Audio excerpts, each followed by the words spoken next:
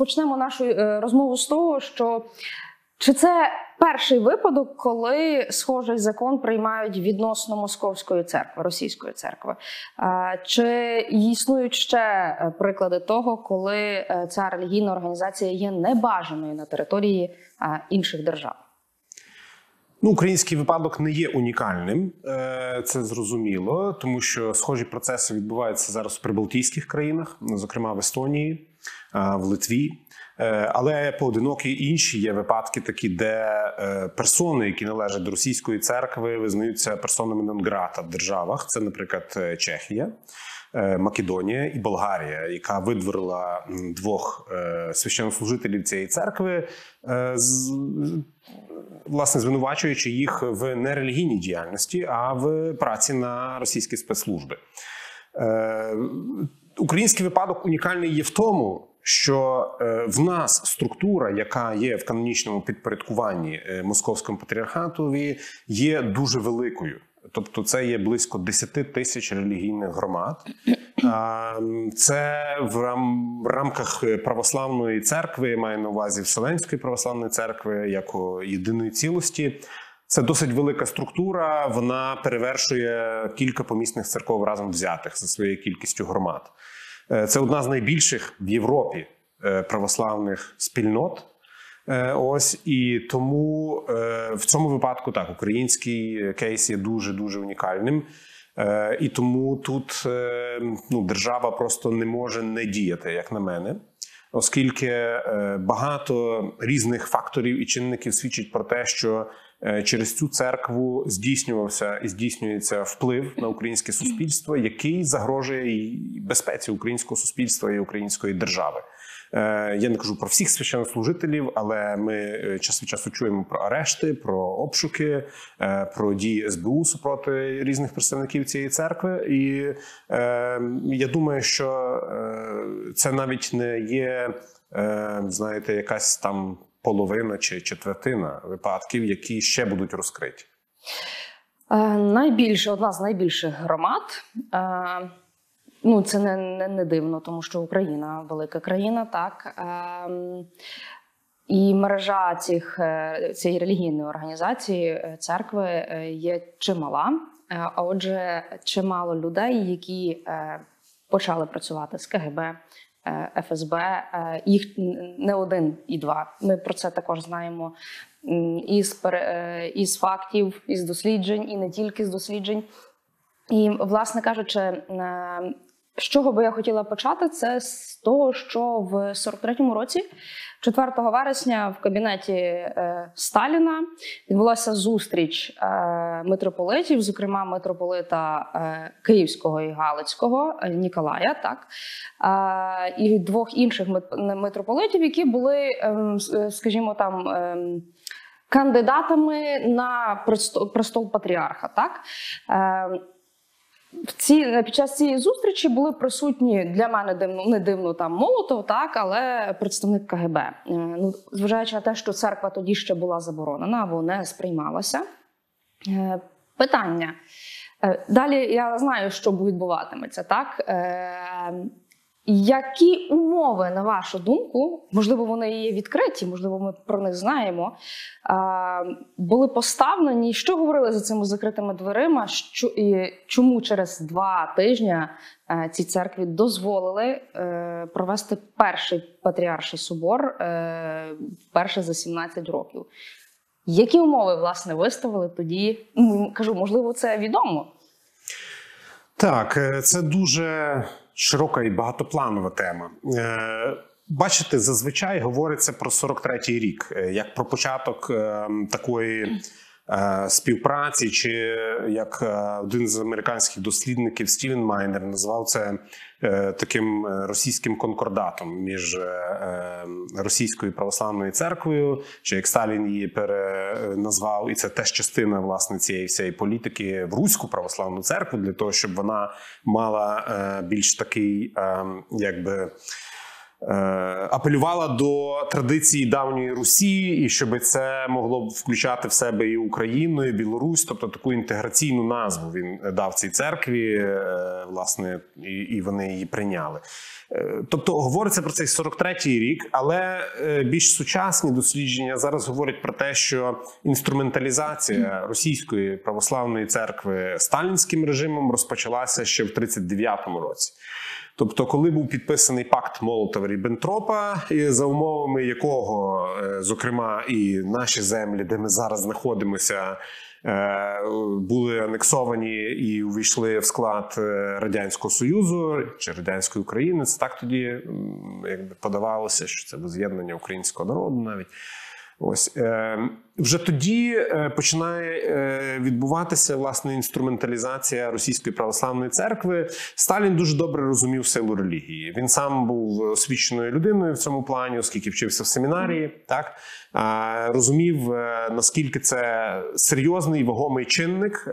Він тут переглянув всю тодішню політику комуністів, так зокрема ленінську політику в плані релігії.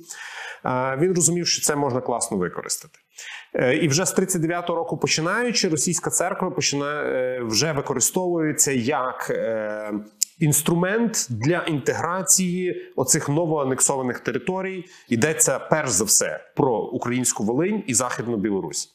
Е, Чому? Тому що ну Галичина була складнішим випадком, і Зака- Закарпаття на той момент ще не увійшло е, в склад е, радянського союзу. Так Галичина була здебільшого греко-католицька, тут було складніше. Хоча спроби такі вже були на той момент. Радянська влада розпрацьовувала механізм, як значить. Ліквідувати цю церкву і, і, і інкорпорувати все, що від неї залишиться в російську церкву, але це було складніший процес.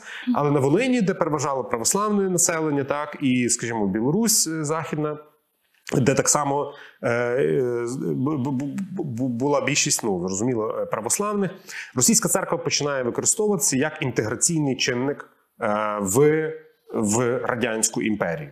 І вже тоді. Е, Церква використовується спецслужбами. Не просто е, це є якась добра воля, знаєте, там російської церкви. Хоч, звісно, і вони були в цьому зацікавлені для того, щоб все це е, інкорпорувати в свою структуру. Але ну це було такий симбіоз уже держави і церкви радянської, радянської офіційно атеїстичної, але інструменталізація відбувалася.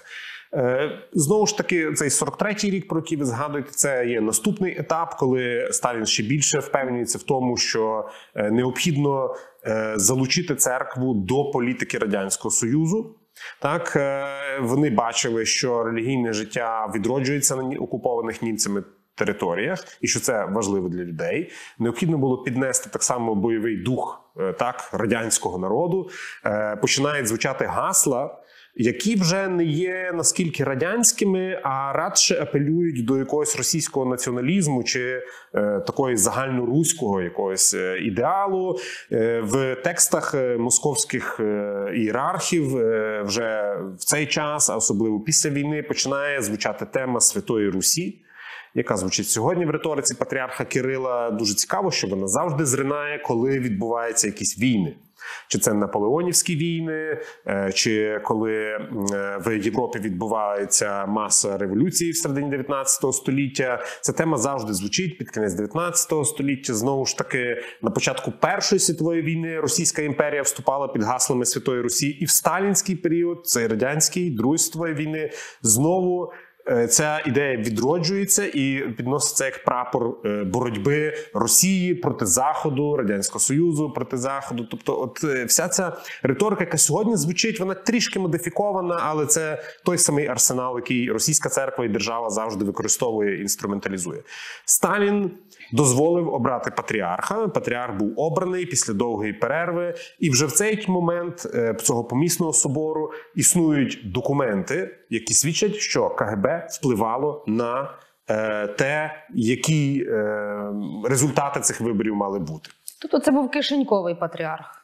Е, ну абсолютно. Ми говоримо про Так. Сергія, Сергія Е, Старгородського. Так, ну е, Сергій тоді ще місцеблюститель, а пізніше патріарх. Він недовго був, звісно, але він ще в, ки- в другій половині 20-х років намагався налагодити з радянською владою якусь співпрацю. Він висловлював свою лояльність радянському режимові, так що всі біди і радості радянського народу і радянської держави є радостями і болями російської церкви, але на той момент е, до нього не дуже прислухались. Церква все одно переживала е, значні репресії. Тут е, також варто говорити про те, що російська церква дуже потерпіла від е, радянської влади, від цього режиму, і, і парадоксально, що вона про це сьогодні не хоче говорити. А навпаки, інколи оспівується радянський режим і комунізм. Так Бо це Тобто- буде заперечення того, що вони Так. зараз роблять. Так, так, так, так, так. Знаєте, навіть якщо порівнювати тексти новомучеників так е, цього атеїстичного режиму, які були написані за кордоном, там російські зарубіжні церкві, там чітко завжди вказувалося про те, хто чинив це насильство над церквою, е, хто є катом. Так, е, коли ці служби вже писалися в Росії сучасній, так то це якесь абстрактне. Тобто люди страждають від якогось абстрактного ворога. Тобто, це не є там, не вказується чітко, хто це робить. Е, І це дуже цікаво. Я думаю, це взагалі широка тема для досліджень літургістів. Пане Анатолію, але ви самі стверджуєте, і є факти е, про те, що КГБ впливало на діяльність церкви. Але напевно кожному звичайному християнину е, і звичайному українцю цікаво, як це відбувалося структурно. Ну то я не знаю. КГБ складна структура, та де їх навчають, і там е, на ранковій недільній службі оголосити проповідь це дуже просто, але ми знаємо, що багато е, спецслужб, е, представників спецслужби працювали всередині церкви. Тобто я не знаю, як їх туди вводили. Є, є якісь факти або є якісь припущення, як це все відбувалося. Тому що їх також всередині треба контролювати, наскільки я розумію. Вони ж не дозволені, не, не просто там сказали, типу, давайте ми будемо робити так. Е, Як ви ж самі кажете, вони постраждали. Значить, був опір. Значить, треба було і всередині теж е, стежити за тим, що відбувається. Цей опір був зламаний. І можна виділити кілька етапів. е, Ну знаєте, бо цей опір був зламаний в 40-х роках. е, Церква була е, російська досить ослабленою. Дуже легко було її контролювати. Всі ієрархи були завербовані. Всі це можливо занадто великі узагальнення зараз, бо я не можу такими фактами тут прямо поділитися, але більша частина точно. Зокрема, можна говорити про те, що на території України е, ті ієрархи російської церкви, які діяли, були завербовані. Ми це бачимо по документах, які присвячені ліквідації е, чи стосуються ліквідації Української греко-католицької церкви структур. Е, Це відбувалося після війни. Так і був відбувся псевдособор тут у Львові, і е, представники абсолютно всі представники е, Російської православної церкви, які були дотичними до цього собору, е, псевдособору, перепрошую, і брали участь в його діяльності в завершальній стадії. Так вони були завербованими КГБ.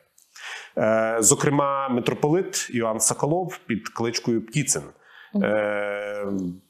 Фігура досить великого масштабу, і е, він був завербований КГБ.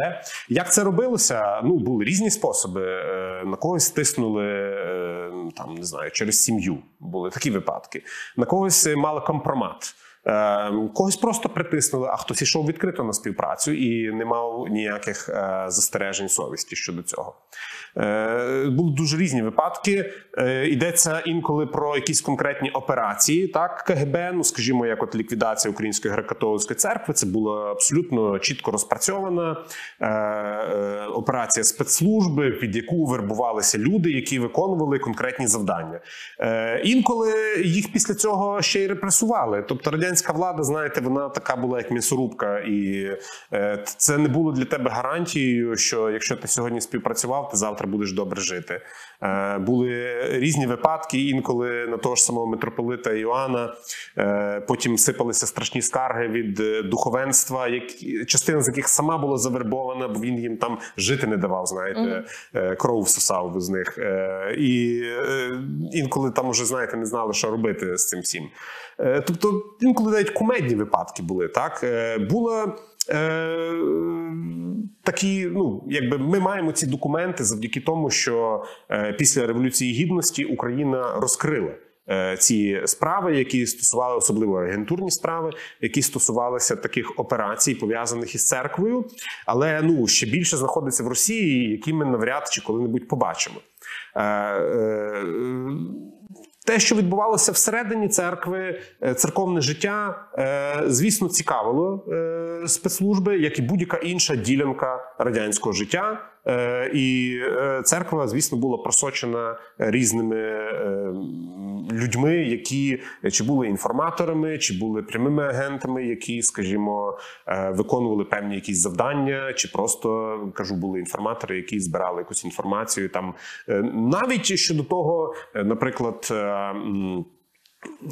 Після ліквідації Української греко-католицької церкви е, була група інформаторів, так які збирали е, е, слухи різні, чутки, е, як реагує на це львівська громада, наприклад, як реагують, знаєш- е, як реагують, е, наприклад, викладачі університетів, так е, що вони про це говорять, як вони це оцінюють, чи позитивно, чи негативно. І тоді е, спецслужба мала е, певну картину того, як які є суспільні настрої, так де можливо якось запустити якісь чутки інші там чи якісь думки, ідеї. Тобто, це отак працювало. Чи є такі підтверджені факти, коли отці порушували таємницю сповіді коли, е, і розказували, що відбувається? Я просто знаю про такий факт, е, бо арештували сім'ю, яка е, підозрювалася. А власне, ніхто, окрім священника на цей момент, і це було е, власне е, сповідь, е, не мав цієї інформації. Чи є десь воно підтверджено, що, наприклад, там Мені особисто такі речі не траплялися. Ось, але ну.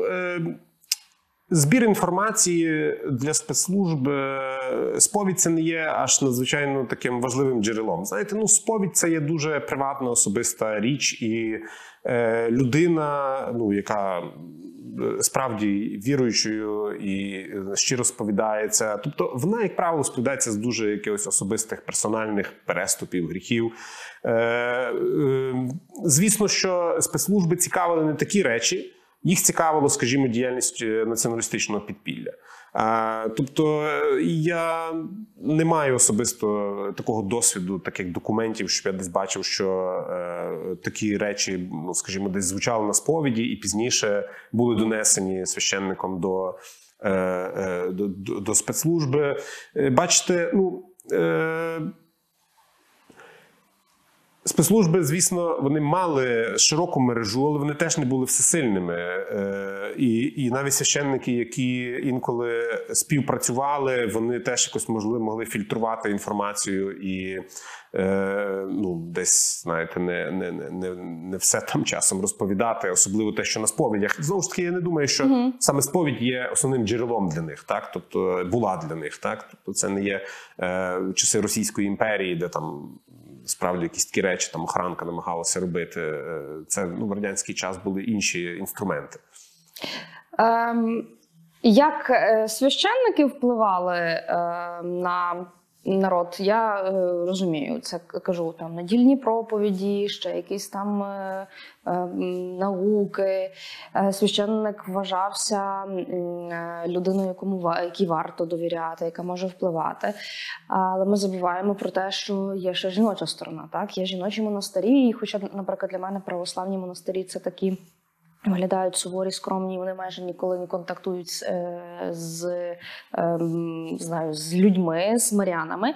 Але ж монахині контактують з жінками-мирянками, так, е, де відбувається своє. Чи є факти про те, що і там, ну я знаю, що є. Тобто я е, навіть сумніватися не, можу. Але чим займалися монахині? Мені важко сказати щодо монахинь. Мені особисто не траплялись такі речі, Е, але підозрюю так, що вони могли існувати. Ну оскільки всі ділянки церковного життя намагалися якимось чином, можливо, так. Не завжди контролювати, як моніторити, чи там не відбувається чогось такого, що загрожує там радянському режимові і так далі. Е, е, бачите, щодо проповідей, намагалися слідкувати за тим, щоб там не було, е, скажімо, якихось політичних мотивів, так е, чи якщо йшлось про е, західну Україну, а тут концентрувалася найбільша кількість парафій Російської православної церкви, оскільки і держава радянська режим, і ну. Спецслужби її так вони розуміли важливість релігії для західних теренів України. І вони тому е, не так е, активно нищили тут е, ці структури і не ліквідовували їх. Оскільки розуміли, що якщо не буде російської церкви, цей вакуум займе підпільно греко-католицька церква. Вони розуміли, що вона існує, що діють по селах підпільні громади і по містах, так і, і вони розуміли, що може утворитися вакуум, тому краще його заповнювати російським православ'ям і, і таким чином, ну якось знаєте, е, стримувати, угу. переходи людей в підпілля. Е, Тому, типу, монахині не, не, не сильно там контактували з КГБ, чи як. Е, Ну, чи нема просто таких фактів? Я так розумію, Я- що цих документів е, мало, ті, що має Україна в користуванні. Мені не траплялося такого. Можливо, є над цим працюють інші дослідники е, також. І е, я думаю, що незабаром ми побачимо досить цікаві праці на цю тему. Е, ну, оскільки опрацювання цих матеріалів, особливо ще й в умовах війни, є дуже складним. Е, так, е, е, це є ну. Часом це тисячі сторінок, знаєте, які людина повинна читати, і для того, щоб якось аналізувати їх. Е, я би тут власне додав ще одну річ, бо я багато говорив про ці 40-ві роки.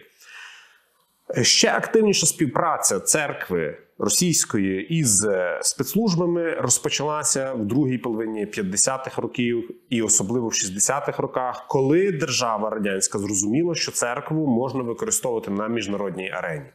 Е, Так, е, використовувати як м'яку силу, е, таку пропагандистську щодо інших церковних спільнот, використовувати її в миротворчому русі, так званому миротворчому русі, так тому що це радянська держава не була мирною державою, але намагалася себе подати назовні як таку, що бореться за мир. Дуже схоже, що є сьогодні. Так, тобто Путін всюди говорить, що він за мир, але насправді всюди сіє війну. Е, Радянський Союз діяв приблизно так само, і от саме тут використовувалася активно російська православна церква, а зокрема відділ церковних е, зовнішніх церковних зв'язків, який довший час очолював нинішній патріарх російський е, московський Кирил Гундяєв. Ось він працював в цих структурах, які які діяли за кордоном. Ніхто з російських ієрархів чи священнослужителів не міг потрапити за кордон за радянського союзу на відповідні посади без співпраці із радянськими спецслужбами. Це було логічно. Е, Ви щойно самі казали, що працювало е, спецслужби з церквою ще там в 60-х. Насправді ці ж люди ще досі живі. Е, я до, до, до чого е, дуже часто натрапляємо зараз, ну останні 4 роки, на таку інформацію, що е, відкрили там е, архів. Е, Знайшли підтвердження, що там не знаю, суддя чи юрист, чи хтось хтось там працював на КГБ, працював на радянську владу. Е, Через нього пройшло багато людей, засуджених, покараних, е, і вони померли, загинули. Є списки прізвища в цих документах, в які ви досліджуєте. І якщо вони є, а вони напевно є. е, Чому е, спецслужби не від наші е, служби не відкривають ці прізвища? Якщо вони відверто працювали з КГБ, можливо, вони досі відправляють в якійсь церкві або є монахинею чи ігуменою якогось монастиря. Ну, це ж насправді дуже відверті матеріали, які би напевно комусь відкрили очі на події, якщо досі хтось залишає має якісь сумніви. Е, Бачите, основні документи, які стосуються цієї справи, цілої цієї закордонної діяльності е, російської церкви, вони знаходяться в Росії. Але е, насправді цих людей, які були задіяні в ті роки, е, не так багато живих залишилося. Е, зокрема, це є Філарет Денисенко, колишній патріарх, тепер почесний патріарх Київський. Е, я би не хотів тут просто, знаєте, якісь огульні звинувачення кидати. Мені здається, що е, для блага українського суспільства і церкви було би цікаво, якби він сам колись розповів, як це відбувалося. Не в загальних фразах, як він раніше говорив, що ну всі співпрацювали. Е, Цікаво було би дізнатися, як це відбувається, е, відбувалось, е, які були механізми, хто, коли, як, хто є інші ці люди, так про яких він би міг також розказати, але він чомусь ніколи про це не говорив. І тут я би поставив крапочку. Щодо того, як ми дізнавалися про цих людей, був дуже невеликий період демократизації в Росії після 91-го року, коли на недовгий час ці архіви були відкриті, і такий священник Гліб Якунін, який на той момент був депутатом е, цієї Верховної Ради Російської, так, Гос- Госдуми, так, е, і він е, працював з цими документами і дуже короткий час. І е, навіть була висунута ідея створити окрему комісію, яка би розслідувала співпрацю зі спецслужбами в радянський період. Е, існують також документи, так званий архів Мітрохіна. Е, Це колишній працівник КГБ, який працював е, в відділі, який займався документообігом, і він робив різні нотатки з е, документів, які стосувалися співпраці, е, зокрема і російської церкви з е, спецслужбами. Ось і він вивіз ці нотатки свої за кордон, і зараз їх можна прочитати навіть в відкритому доступі. Будь-хто може набрати архів Мітрохіна. Там є дуже багато різних матеріалів. Вони дещо такими є уривчастими, але там існують лише клички цих агентів. Що зробив Якунін? Він просто співставив ці клички з офіційною інформацією. Умовно кажучи, е, митрополит Н е, їздив е, в такому-то році в Австралію, Угу. і тоді він брав документ КГБ і бачив, що агент Б так само їздив в цю країну в цей самий час. Співставивши всі ці речі, він відкрив те, що фактично всі вся найвища ієрархія е, Російської православної церкви, включно з патріархом Алексієм II, Рідігером, попереднім патріархом Кирилом Гундяєвим, ну вже згаданим мною е, тодішнім митрополитом Київським Філаретом Денисенком, а також іншими ієрархами, я називаю найгучніші такі е, е, особи. Е, Він відкрив, що всі ці, всі ці люди знаходяться під різними псевдонімами в документах КГБ, і вони виконували певні функції на закордонному напрямку. Е, і на сьогоднішній день е, ті документи є знову закриті всі. Ось ми маємо ці уривки лише так, але е, ну, ці уривки вже багато про що свідчать. Е, і е, знаєте, тут власне, ну чи ми коли-небудь дочекаємося всієї правди? Ну не знаю, але е, навіть те, що ми знаємо, ну факти співпраці є ну, відвертими. Е, існують певні паралелі в інших державах, тому що комуністичний режим був не лише в радянському Союзі, е, і е, в, в таких країнах, як Румунія, Болгарія чи Польща, держава е, відкрила ці дані щодо радянських е, оцих часів, і, е, скажімо, ну, в Польщі. е, Це є досить солідні публікації, які доводять співпрацю ієрархів польської православної церкви зі тодішніми е, спецслужбами комуністичної Польщі. В Румунії дійшло було до того, що е, е, суспільство, церква поставили вимогу до патріарха румунського е, про резигнацію, і через те, що було викрита його співпраця із е, е, спецслужбами комуністичної Румунії, і він навіть був резигнував, але його через те, що він визнав все це. і йому, так би мовити, поновили кредит довіри, і він пізніше добув цей термін в Болгарії через те, що було викрито співпрацю православної болгарської церкви із спецслужбами Болгарії комуністичними. е, Відбувся розкол в церкві, який по сьогоднішній день до кінця не є загоєний, тому що е, ця лінія е, і, і це звинувачення частини церкви болгарської щодо того, що церква співпрацювала із комуністичною спецслужбою, а відповідно і з російською спецслужбою. Е, По сьогоднішній день ця дискусія і полеміка триває. Ви кажете, відкрила архіви Польщі держава е, як, як держава, Польща, Румунія, Болгарія. Е, У вас нема доступу до архівів КГБ, які збереглися на території України, тобто Україна Є. Є е, тільки е, бачите, я не є фахівець з архівів. Е, Мгм. Власне, це він зараз називається галузевий державний архів е, СБУ. Тобто я працював з низкою документів. Є люди, які набагато фаховіше знають, що там знаходиться і в якій кількості. Я не хочу зараз е, якби забирати їхній їх, їхній хліб їсти.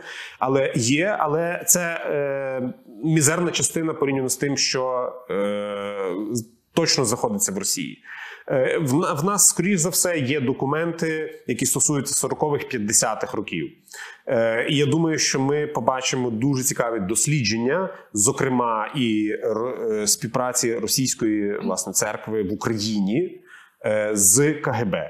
Тобто я обмежусь цим. Е, Тобто Я дещо знаю. не спойлеримо, але так, я дещо знаю, але поки що я раджу почекати, і це буде, я впевнений, будуть дуже цікаві е, дослідження. Сподіваємося, що ми е, встигнемо так, так. І, і вони вийдуть.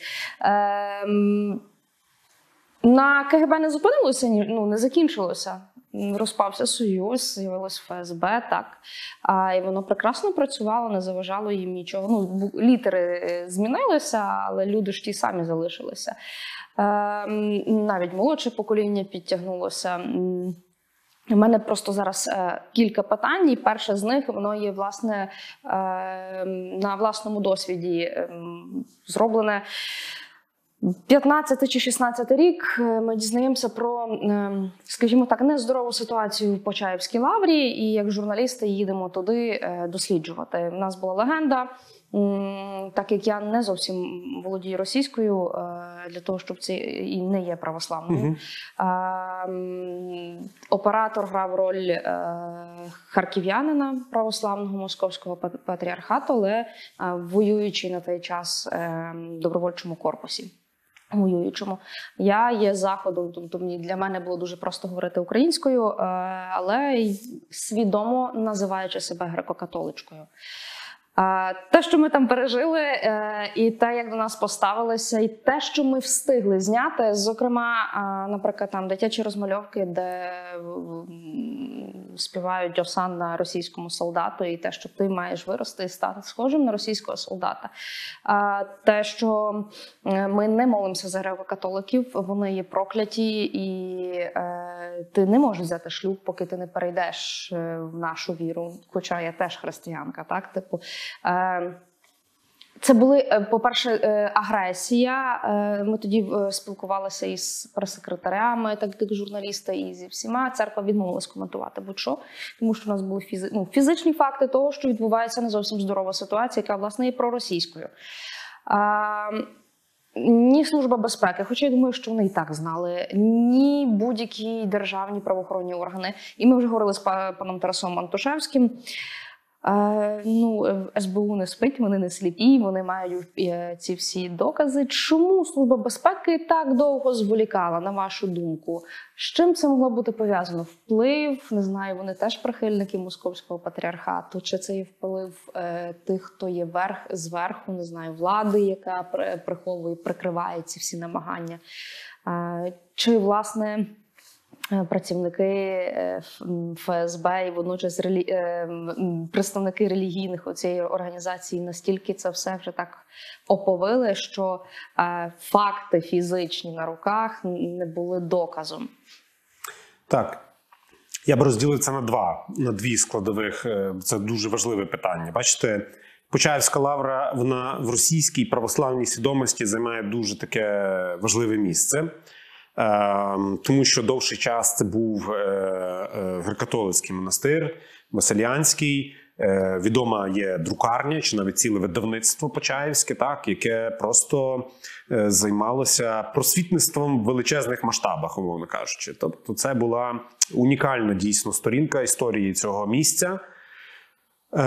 І після того, як ці землі потрапили в склад Російської імперії, Російська імперія вирішила зробити із Почаєва такий форпост російського православ'я. як таку прикордонну заставу на межі між Галичиною, яка була на той момент греко-католицькою вже е, цілком, е, і Російською імперією. Е, І їхня ідея була, що це повинен бути дуже такий агресивний, наступаючий релігійний, такий, знаєте, експансіоністський тип е, монастиря. Е, З тим, щоб якось впливати пропагандою на Галичину з одного боку, а з іншого боку, захищати оці кордони Російської імперії, чи патріарх Кирил, коли відвідував Почаївську лавру за правління Януковича, він сказав, що ось тут пролягає кордон Святої Русі. Бачите, ми туди не попадаємо в ту е, так звану Святу Русь. Е, Він кордон провів якраз на межі Почаєва, що це є така прикордонна застава для нього. Тобто Почаєв він відіграє і завжди відігравав, кажу, такої, ну як завжди, 19-20 століття, і от зараз знову ж таки е, такої бастіону, знаєте, оборонної вежі з гарматами, зі всім, і там насправді дуже агресивне ставлення, особливо до представників інших е, християнських конфесій. Е, така, знаєте, оборонна свідомість, що ми тут в засаді, хто до нас чужий прийде, ми будемо просто відбиватися. Я сам був свідком таких речей, е, е, там відвідував кілька разів. Мені цікаво було теж, як і вам. Ось. Е, Ваше друге питання, е, чи, чи радше ваше питання е, так щодо СБУ. Е, Ну, я не є прес-секретарем, щоб пояснити від їхнього імені, е, чому це відбувається так чи інакше, але ну зрозуміло, що е, в нашій державі не завжди існувала політична воля до того, щоб приділити серйозну увагу діяльності релігійних організацій, пов'язаних із центрами у ворожій державі. Аж ми тепер маємо цей закон. Е, Я думаю, що довший час не існувало такої політичної волі. Були різні лобісти е, в владі при всіх владах. Вони і зараз є, але ну вони виявились на цей раз уже в меншості. Е, А з іншого боку, я думаю, що факти вже є е, наскільки кричущими, що ну просто немає в них якихось раціональних вже аргументів для того, щоб там не знаю е, стримувати якимось чином там розслідування чи, чи, чи, чи, чи, чи, чи щось ну там обшуки і так далі. Тобто е, не було політичної волі. Так, тому що ми знаємо, що на жаль, по сьогоднішній день е, в нас політика дуже впливає також і на ці безпекові питання. Е, так е, і особливо коли ми а коли ми говоримо про часи Януковича, коли ну зрозуміло, що всі наші спецслужби були просякнуті е, спецслужбами російськими. Ну то про це не могло бути мови. Тобто процес зрушився з місця, я думаю, лише після революції гідності, і він ще триває, він ще не завершений. На початку війни було багато питань в суспільстві, чому московський патріархат далі має вплив, якщо Росія напала на нас.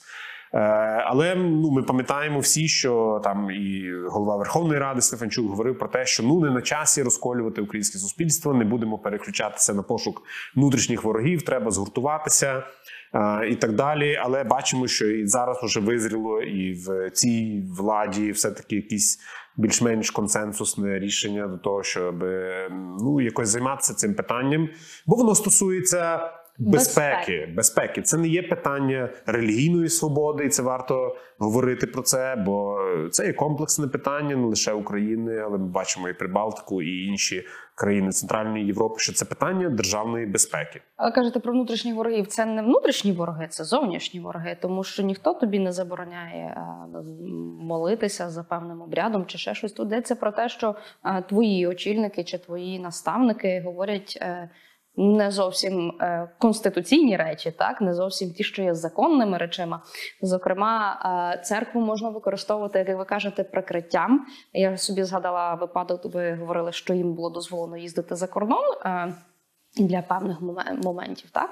Ем, В 2014 році, якщо я не помиляюся, в Крим привезли дари волхвів.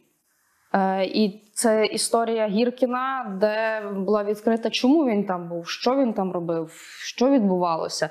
Це знову ж таки прикриття церкви. І ми ну чому нас немає довіри до цієї церкви? Бо ми не знаємо, що завтра е, вони можуть втнути, не можуть робити хресну ходу намірені про мир, але тим часом нести пояси шахедів. Ну, типу, я там я вже так е, глобалізую. Але це типу, власне, те, чому ми цю церкву не приймаємо. Е, У мене до вас, власне, як до історика церкви. Ем, а що буде з їхніми вірянами? Так, власне, я можливо додам е, і уточню деякі речі. Коли я говорю про такий, знаєте, пошук внутрішніх ворогів, те, що я згадував, бо е, бачите, це дві площини. Тобто, є, звісно, е, люди, які свідомо співпрацюють, і е, я сподіваюся, що наша спецслужба буде доводити ці факти, і ми будемо бачити реальні е, потім якісь відкриті. Е, Можливо, будуть е, розслідування, як це відбувалося, це співпраця і так далі. І е, ми будемо знати більше. Ось і судові рішення будуть відповідні, і буде доведена вина цих людей. Але є також, знаєте, дуже багато власне вірян, про яких ви говорите, так. Е, Які 30 років слухали всі ці проповіді про Святу Русь, про ну, що це єдність України, Росії, Білорусі, освячена самим Богом, і що це мало не частина віри, і що це є знаєте, частина їхньої релігійної ідентичності, і так далі. І е, це все їм наскільки змішалося. Е, і знаєте, ну вони можуть бути якби. Ну, ніякими не там, знаєте, агентами спецслужб чи щось такого. Але вони можуть мати абсолютно таку, знаєте, проросійську свідомість, так? Тобто, бо це їм подавалося як частина релігійної традиції. Е, і оце одна із причин, чому зараз так є, ну скажімо, мало переходів там так е, в православну церкву України. Бо десятиліттями цим людям пояснювали, що православ'я можливе лише в єдності з Москвою. Е, І, до речі, зараз вони дуже багато наголошують на тому, що от е, УПЦ там не є МП, що там немає цього додатка офіційно і так далі. Так, але протягом десятиліть вони цього не заперечували. Навпаки, наголошували на тому, так, так, ми є канонічна, бо ми є в єдності із московським патріархатом. І оце от е, таке втовкмачування десятиліттями людей. Е, цього фактору, який насправді не належить до суті віри, так тобто, бо е, вихід із московського патріархату не означає зречення православ'я чи християнства. Так, е, це є лише юрисдикційна приналежність, там канонічна, е, е, але це не є частиною православної віри, як такої. Так? Е, і тому тут. Е, Справді, ну знаєте, інколи це може могло би виглядати як пошук якихось, знаєте, е, внутрішніх ворогів. Хоча тут мені здається, більше треба робити натиск на якесь просвітництво і розмову, е, можливо, навіть якесь порівняльне релігієзнавство в школах, щоб діти розуміли, що це взагалі таке, де пояснювати, як маніпулюють різними релігійними поняттями, еклезіологічними поняттями і так далі. Тобто, я це мав на увазі. Питання було, що робити з вірянами. Так, е, потрібно говорити.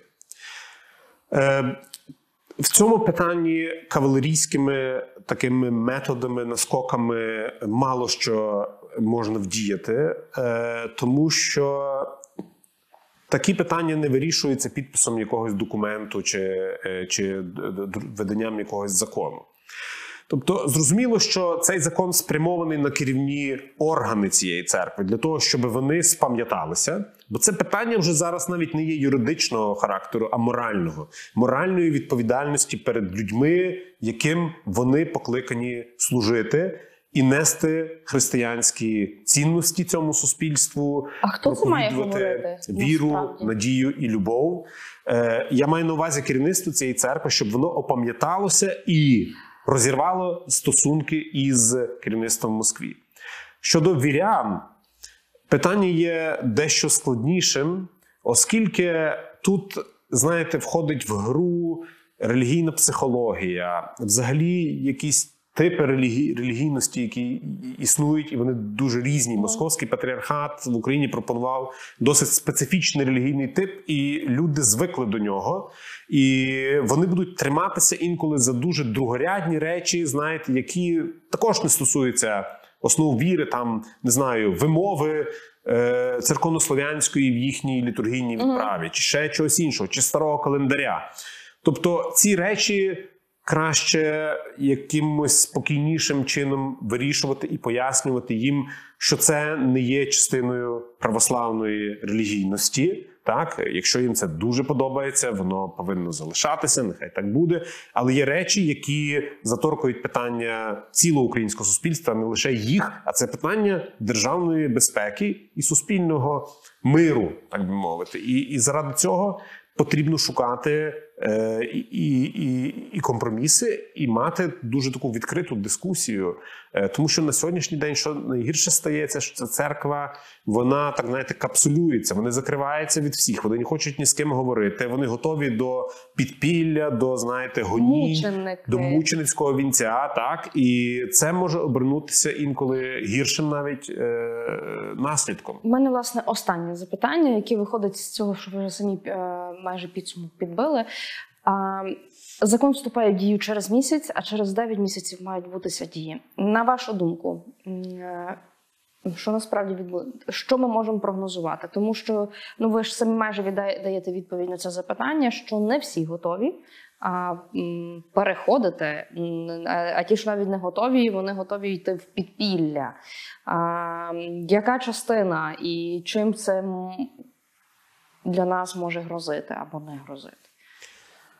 Так, ну е, кілька аспектів. Перший аспект міжнародний, який варто згадувати завжди. Е, наші міжнародні партнери дуже прискіпливо дивляться за цією ситуацією. Е, і тому краще слово заборона церкви не вживати ні в якому разі, бо тут і не йдеться про заборону церкви, йдеться про захист державної безпеки.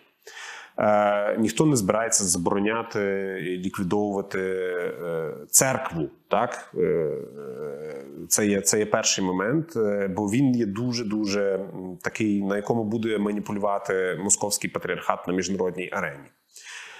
Е, Це, це, це, це, це важливо завжди пам'ятати собі. Е, Другий момент це те, що я не юрист, і мені важко спрогнозувати, за яким сценарієм це все далі відбуватиметься, тому що в Україні церква не є церква як цілість, не є юридичною особою. Юридичними особами є єпархіальні управління, братства і кожна окремо взята е, парафія в селі чи місті. Е, Вона зареєстрована і вона має свій статут. І це ми говоримо зараз приблизно про 10 тисяч, ну до 10 тисяч різних релігійних громад. Якісь із них реально існують, якісь із них реально не існують лише на папері зареєстровані. Можливо, їх там є 7, а не 10.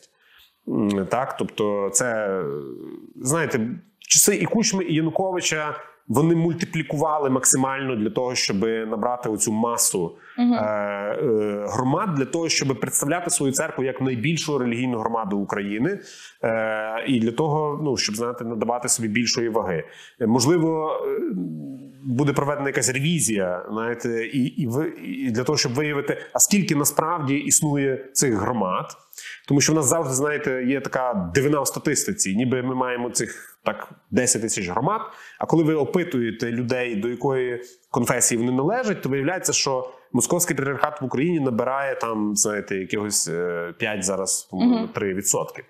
Е, І раніше він не набирав тієї маси, ніби за, за кількістю громад. Е, Це, це завжди було не, не співставні речі. Тобто, тут, як мені важко спрогнозувати, бо я не юрист.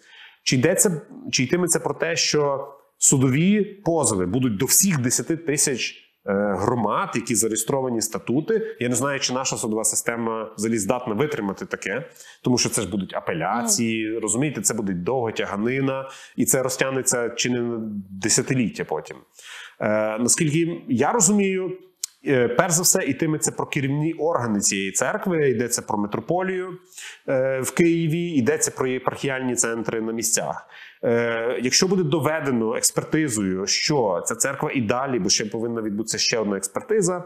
е, Одна відбулася вже у 2023 році. Має бути ще одна, е, ніби з залученням е, незалежних експертів, е, каноністів і так далі, е, так які е, будуть встановлювати, чи справді ця церква має е, чи ще вона знаходиться в підпорядкуванні московського патріархату. Е, Тут е, знову ж таки. Це дуже складна тема, бо існує церковне право, існує державне право. І церква існує в двох площинах. Вона за статутом вона існує в державі, а канонічне право це, це, це і внутрішня справа, і держава відповідно до нашої конституції є розділена з церквою, і вона не може впливати на канонічне право. Знаєте, тут завжди важко власне як діяти.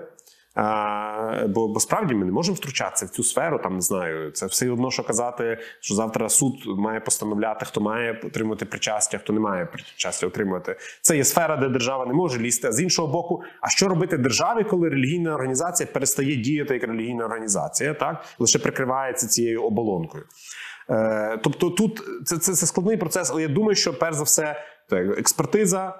Якщо буде доведено, що церква далі має зв'язок, а є певні фактори, які ми можемо вже називати, це участь е, бодай на формальному рівні е, представників цієї церкви в керівних органах московського патріархату, яку вони не відкликали, офіційно не відкликали.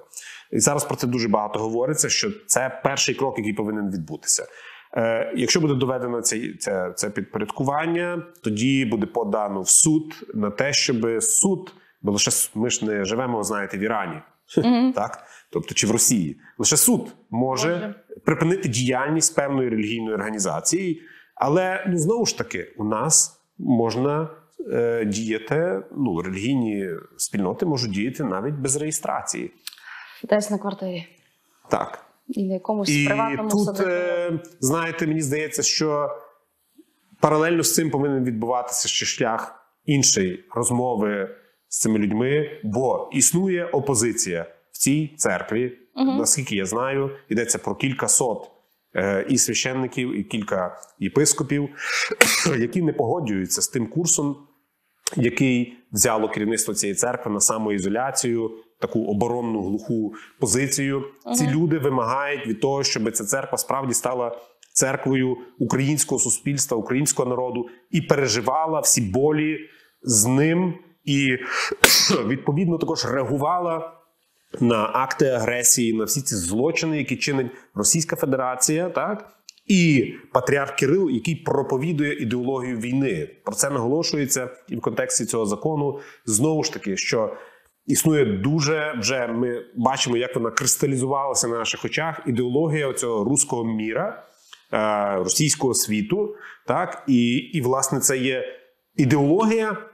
Е, в ядрі якої просто українського, тобто заперечується саме право на існування українського народу, української держави, українського суспільства, культури, мови, а так само і релігійної традиції, відмінної від московського патріархату. Ми бачимо, що відбувається на окупованих територіях, де винищується абсолютно все, що пов'язано, скажімо, з різними протестантськими спільнотами. Ви знаєте, схід України.